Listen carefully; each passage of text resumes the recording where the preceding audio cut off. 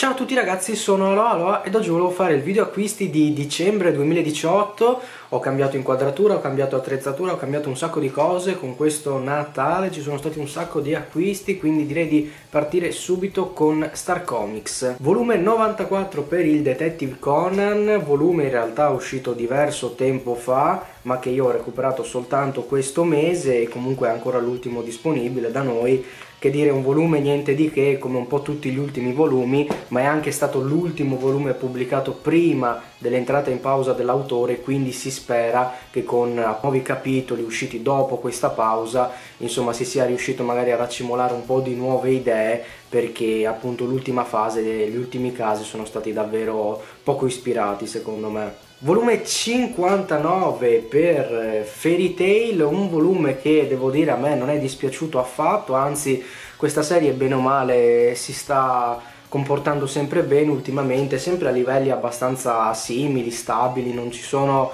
grandi così grandi sconvolgimenti o cose del genere, però secondo me stiamo andando verso un epilogo tutto sommato buono e speriamo che siano così anche gli ultimi quattro volumi. Volume 14 per Ramma Mezzo, sempre la nuova edizione ovviamente, che ahimè purtroppo questo caso devo dire non mi è piaciuto molto ed è un peccato perché comunque la serie finora eh, mi aveva sempre dato delle buonissime impressioni, però purtroppo questo volume è già il 13 devo dire,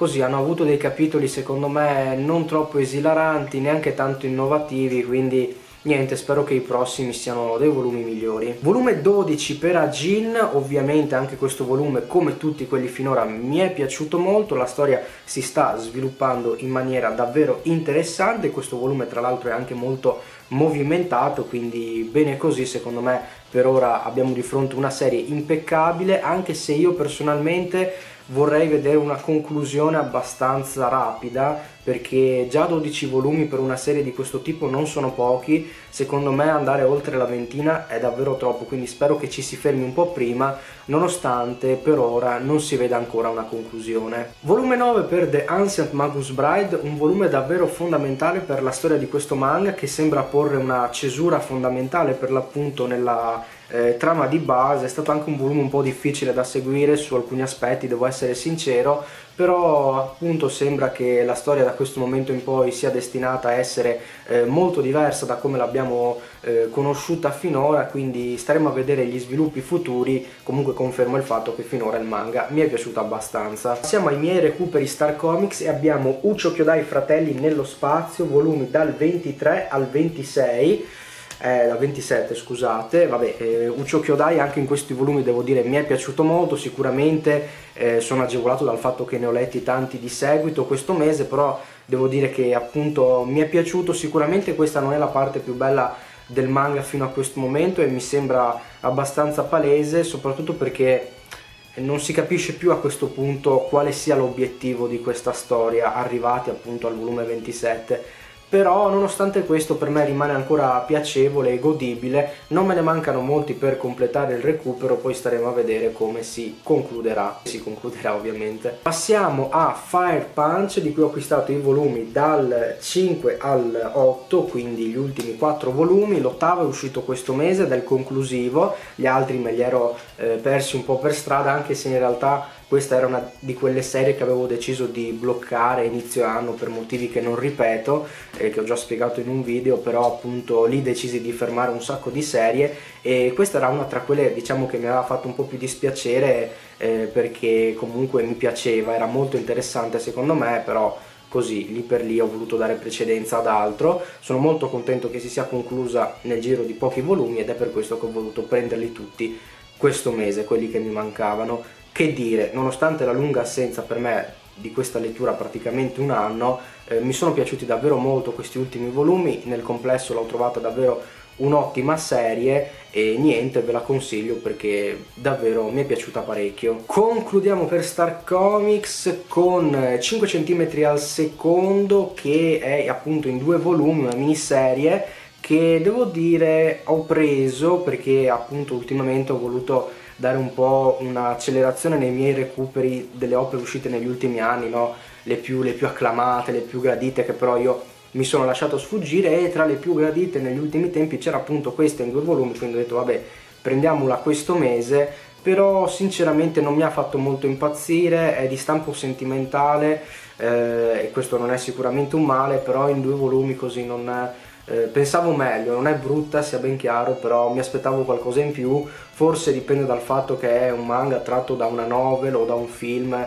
non ne sono sicuro, eh, però magari è anche per quello che si è perso qualcosa, sicuramente bello, però appunto mi aspettavo qualcosa di più. Passiamo agli acquisti per Dinit e abbiamo i volumi 1 e 2 per GTO Big Collection. In realtà il primo io lo acquistai diverso tempo fa, come già spiegato, per errore, perché non sapevo che la serie che veniva prima era Shonan Junegumi, quindi pensai che questa fosse insomma priva di prequel, priva di eh, di serie antecedenti quindi presi questa, in realtà mi sbagliai e poi presi subito Shonan Junegumi, ma questo, questo mese ho deciso di iniziare a leggerla e per questo ho preso anche il box 2 e la sto appunto leggendo, per ora mi piace, devo dire GTO comunque un manga molto conosciuto e molto acclamato, per ora sinceramente per vari motivi preferisco Shonan Junegumi se devo essere sincero ma ciò nonostante è, è, comunque un manga sicuramente molto originale e molto divertente. Passiamo agli acquisti Planet e lo facciamo col botto perché abbiamo Gantz nuova edizione volume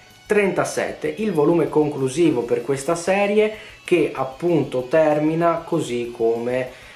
me l'ero immaginato, insomma, non è che mi aspettassi qualcosa di diverso, gli ultimi volumi lasciavano presagire una conclusione di questo tipo. E da questo punto di vista non posso dire che Gantz sia stata una delusione,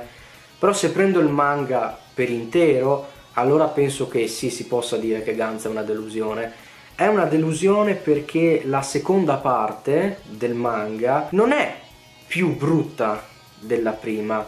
è drasticamente meno interessante, è drasticamente più confusa e per certi aspetti completamente priva di senso. Io ho letto nel corso degli anni diversi manga, ma più in generale tante opere che non avessero senso, che fossero caotiche, che come dire davano priorità ad altri aspetti che non fosse la trama vera e propria e andassero a spiegare insomma tutte eh, le intercapedini della storia, cioè è capitato di leggere storie confuse che avessero l'ambizione, magari una cosa più artistica, non una cosa di questo tipo, ma Gantz non è quel tipo di manga. Gantz parte benissimo proprio perché ha una storia interessante, ha dei risvolti sociali notevoli, eh, ha un protagonista che ha una caratterizzazione veramente micidiale, poi ovvio è un personaggio sicuramente eh, estremamente discutibile, ma è proprio questo il bello, cioè di Gantz, parte con questa storia nella trama e nei personaggi che è veramente interessante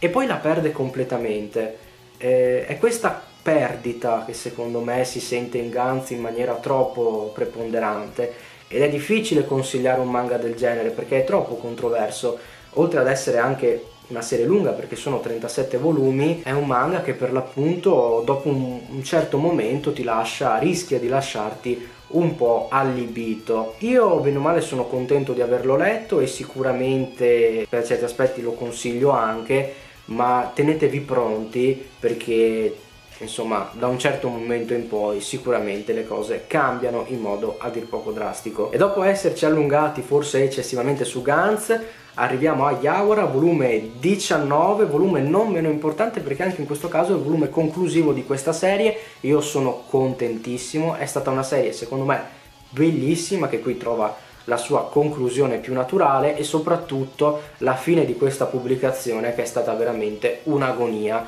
fin dal primo mese di uscita, me lo ricordo, febbraio 2013, cioè è stato un disastro, pubblicazioni posticipate, aumento del prezzo, quasi un anno di pausa in alcuni momenti, cioè veramente è stata una cosa delirante, per fortuna la serie si è conclusa lo stesso, anche con un ritardo mostruoso, però ne è valsa la pena perché è stato davvero un bel manga e, e comunque nel complesso secondo me davvero interessante e divertente. Abbiamo poi Shin Lupin terzo, volume 18, che purtroppo non mi è piaciuto granché, come ho già spiegato gli ultimi volumi di Lupin di questa serie, di questa seconda serie, eh, non sono assolutamente niente di eccezionale, la sensazione è che l'autore abbia dato il meglio in tutti quelli prima e ci può stare perché comunque ormai siamo insomma agli sgoccioli, però insomma spero che per i tre restanti volumi eh, si riesca a fare qualcosa di più sinceramente. Volume 9 per Fruits Basket un volume che mi è piaciuto come quasi tutti i volumi per questa serie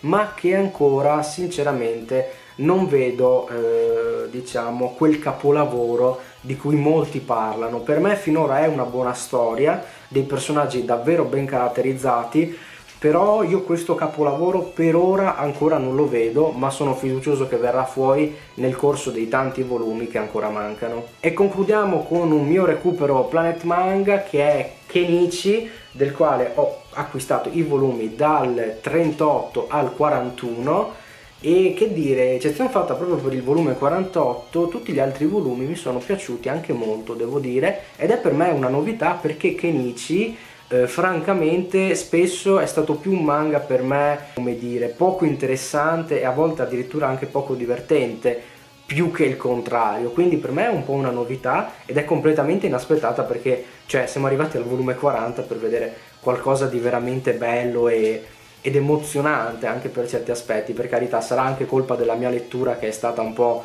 sbarazzina, però veramente questi volumi mi sono piaciuti molto e non me lo sarei mai aspettato sicuramente prenderò i restanti con una maggiore voglia eh, rispetto a quella che ho avuto nel recuperare i volumi fino a qui. Per il resto ragazzi questo video finisce qua, come vedete sono stati tanti acquisti, io vi auguro un bellissimo capodanno che ci aspetta fra qualche giorno, ci vediamo nel 2019 e aloha aloha!